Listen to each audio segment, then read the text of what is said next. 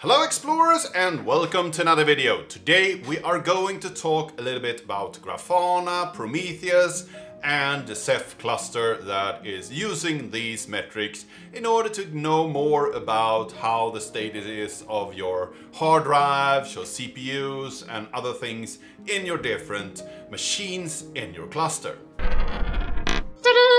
In this video, I'm gonna go through how to set up the different services and how to configure them correctly.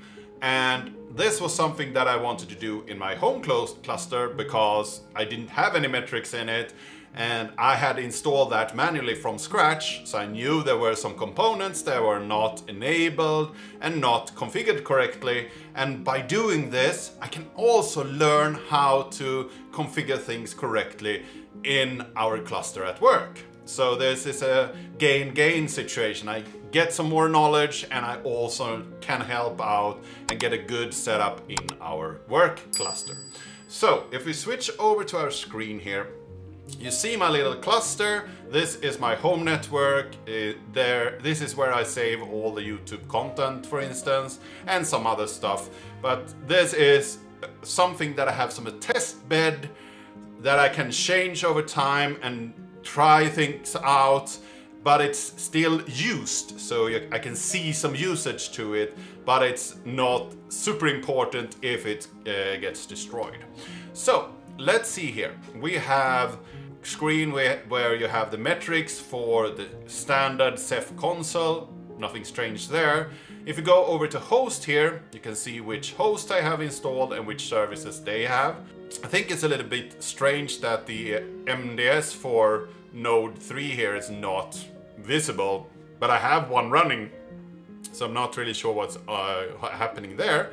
But if we go to overall performance here, we see that we get some metrics here. I know something about my four hosts. They have an average uh, CPU usage of around 5% and they have an average RAM utilization of 84% and I know that they are RAM constrained. They only have 4 gigs RAM of RAM and they need to use that constantly pretty much to handle the load of the uh, hard drive.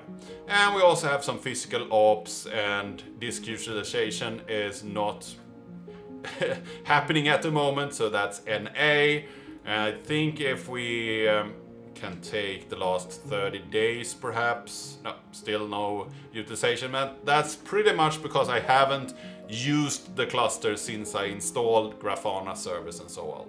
But if you go to this page and you haven't installed anything, this iframe that you see here will not load. You will get a documentation link how to set up Grafana services. And that's pretty much what I followed and the documentation is not super great and or perhaps it's just me being dense and not understand it correctly but I had to go through and find different resources and gather the knowledge and do a lot of work in order to get this to function and uh, I wanted to create a video so you don't need to do that. Um, so we go over to my little script here on uh, how to set this up. So uh, if we look here, I have a long script of things to do. Let's start here first with the Prometheus. On the first uh, node here, I will start by enabling the Prometheus um, little plugin here or the manager mod module and I say which port it should use. So I pretty much say I want a manager here where Prometheus can gather information from you, Ceph cluster. So the manager could give Prometheus information about the cluster. Then we want to install the node exporter. A node exporter is to take the node and send all the usage statics over to the server uh, or the, the Prometheus server can fetch that information. So this will gather CPU information, hard drive information, memory utilization and so on.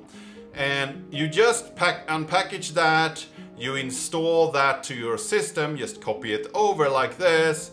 You need to install gosu and uh, create a new Prometheus user. And then you say that that specific script should use uh, be uh, owned by Prometheus and gosu is used in that script in order to run it, so therefore you need to install that. And then I uh, vi into the node exporter script here, and this is pretty much this script. It's a, a script for starting services. So this I just copied in there. Uh, depending on which service you want to start, there is a couple of these scripts available on their GitHub page. I will leave links to everything of this in the video description. Um, but you copy that in so you can um, start the script. I cmod that script and then put it into the defaults so it will start when the machine starts and then I uh, also need to edit this default node exporter. So if we look at that um, we will put the value start equals to yes in that little script. Uh, so it will start on boot up and then I start the node exporter. I check that it's running and then I also check the log and I don't get any issues.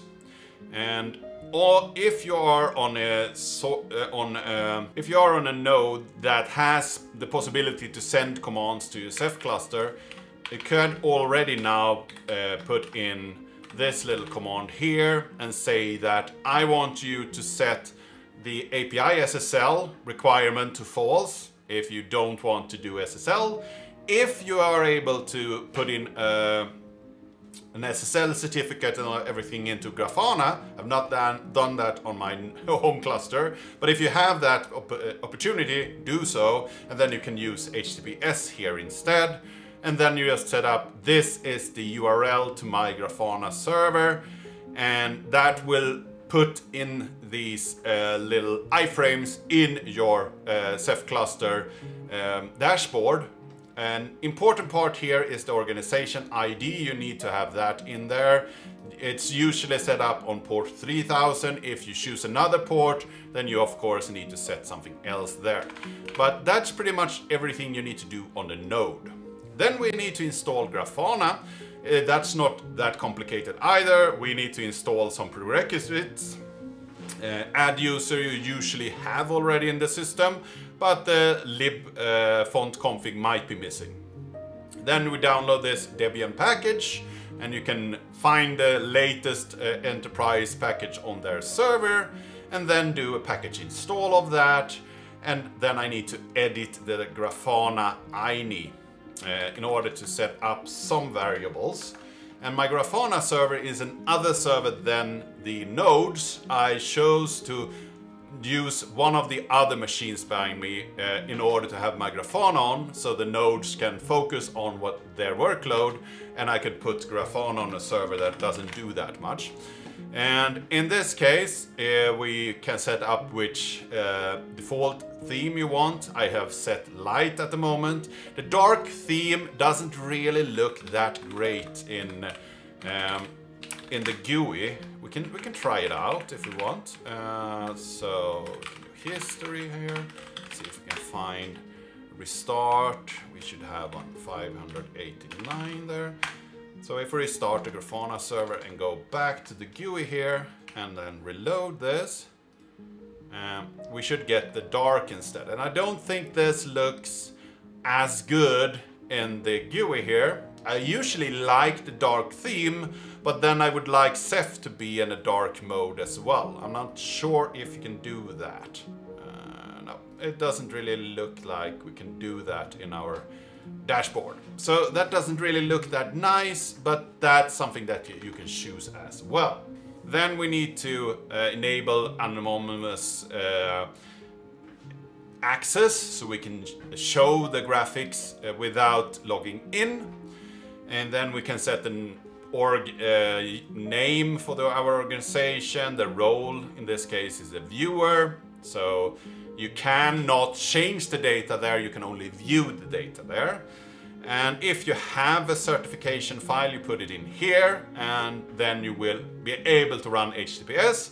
I don't have those files, so I don't have any certificate, uh, certificate at the moment. Then you put a domain, a protocol, and that, there you put HTTPS if it's uh, if you have those keys a port number and the address to the server. And then I have security admin user and password, and those are only used the first login. So after that, you will uh, get the possibility to add new login information. So I have a different password at my Grafana instance at the moment, but that's good to have as a first startup thing. And then you allow embedding, and that's so you can have these iframes and also allow origins so uh, you don't have any problem with the CORS. And that's all that you need to uh, put into this Grafana script. Uh, one thing I had a problem with here is that this uh, Ceph console is running in an unsecure HTTPS session so I don't have any certificate, but it's still an HTTPS session. And if you go to HTTP in an HTTPS session, that's mixed content, not allowed. So I had to go in for this site and allow mixed content. If you set up this up in a production environment, you will not have that problem because you should use SSL on everything. So that should not be a problem. Let's go back here to the script. And then we just enable this Grafana server and start it. It's not much to that. Um, if you have the problem that I had, I logged in, I forgot my new password, and I just put in a generated password and then that password got lost somewhere and you need to reset your admin password. Then you can run this Grafana CLI, home path to the Grafana instance. It is usually installed in USR share Grafana. And then you say I want for the admin user reset admin password to admin. And then you can log in again and set a new password. So that could be good if you do uh, or clumsy like me and set a password that you forget. And after that, we want to install Prometheus. And Grafana creates graphs, show you nice things, and Prometheus is the server that handles all the data collection. So in, in this case, we need to install gosu again. On the same, I use the same server for my Prometheus setup as I use for my Grafana setup. Uh, so I need to install gosu here as well. And then we add the Prometheus uh, user, we create some directories for the configuration and the libraries, and we set the user as the owner of those. We uh, unpack the current version of Prometheus, and then we will just copy in some tools into the USR local bin directory. We will copy over all the um, console and console libraries to the etc uh, directory, and we also will uh, copy over a YAML file uh, will will be there.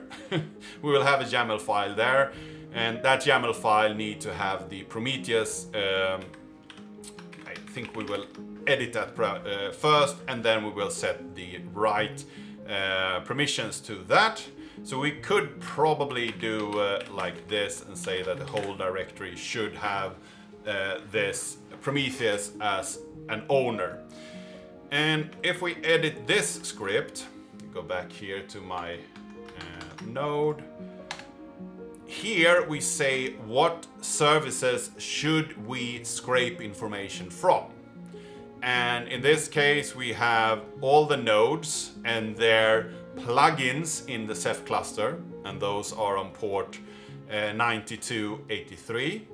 And then we have the same nodes and all their uh, node exporters for the CPU information, the memory information and so on. And those are on 9100. Uh, so that's the scraping that we need. We could also install Prometheus on all these nodes and then export that information as well. I have put it in here. It's not used at the moment because I don't have Prometheus installed on all these services and you don't need to have that, but I just wanted to show that you can scrape information from other Prometheus instances as well.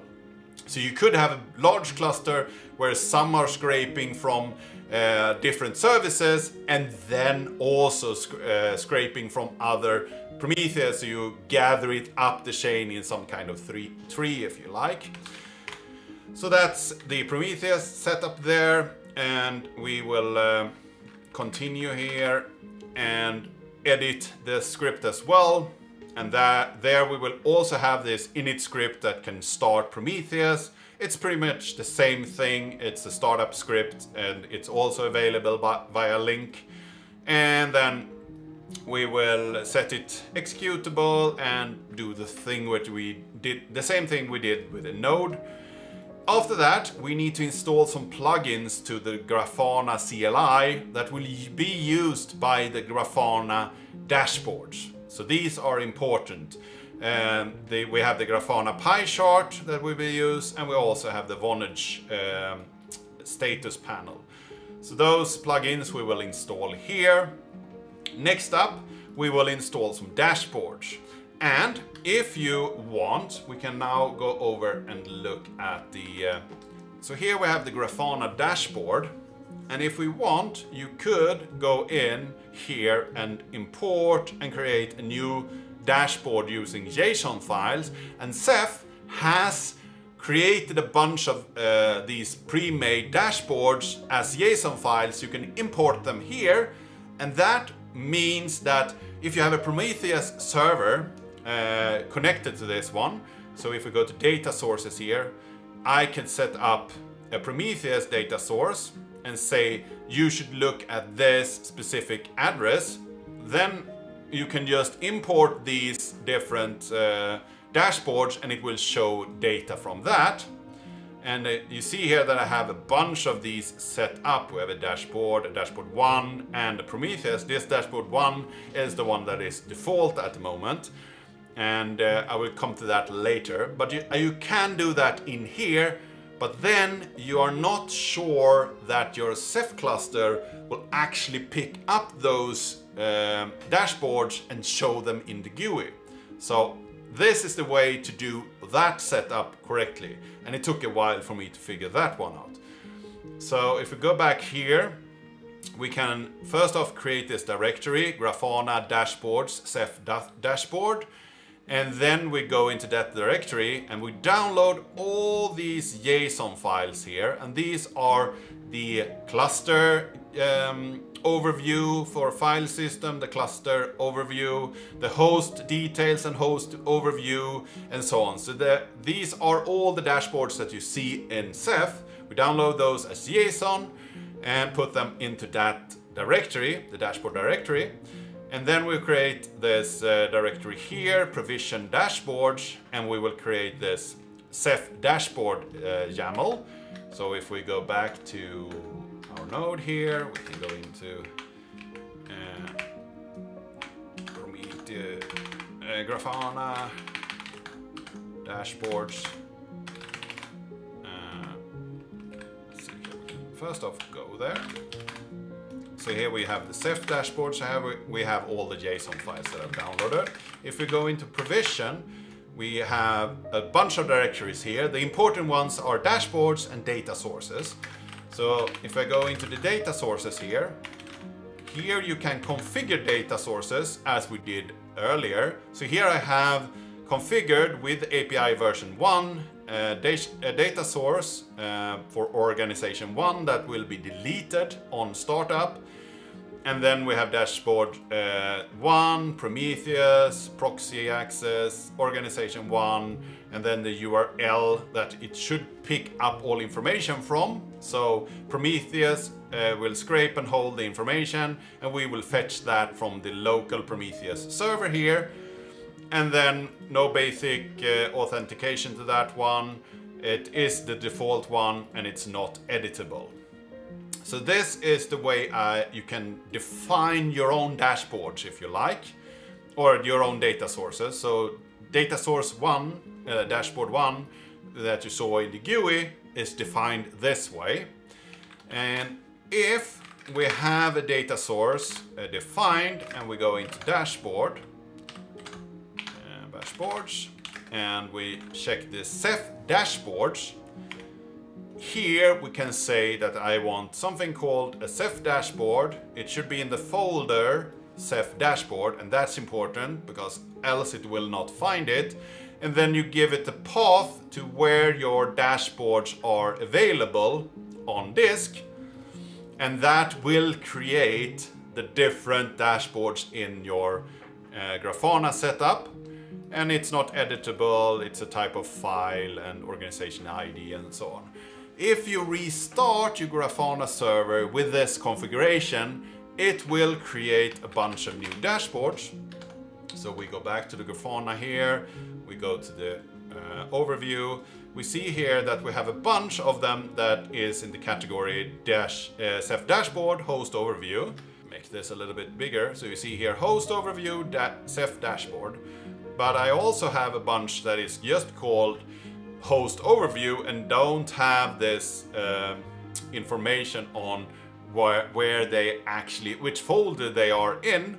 So are, they, these here is not used. Those are ones that I created and they will show the same information here, but they can't be found by our Ceph cluster. To, uh, so Ceph will only look for those in the folder of Ceph dashboard. And these it will find. And if you have that set up with the host dashboard, you can get it into your Ceph cluster so you can see the dashboard here. So that's pretty much the setup in order to fetch information from your different servers and put them into your Grafana server via Prometheus and then make your Grafana server dashboards available back into Ceph cluster dashboard in order to show information about your hosts. And you also have information about your OSDs and how hard or how large they are, what kind of latencies you have on your drives, and you also have information about the pools and the usage of the different pools and so on. So you have a lot of interesting information in these graphs. And if you run it over time, a longer time, you get more information that you can use in order to figure out if you need to replace a disk, if you need to um, update and create more cluster nodes or perhaps add more disks in order to run smoothly in your environment. So this was what I wanted to talk about today, how to configure Grafana and Prometheus so they can be used as dashboards in your Ceph cluster dashboard setup. Uh, I hope that you found this interesting. I hope that you learned something today. If you have any questions or suggestions, leave them down in the comment section down below. If you like this video, give it a like, share it with your friends and colleagues. If you haven't subscribed yet, please do that. And I really hope to see you in the next video.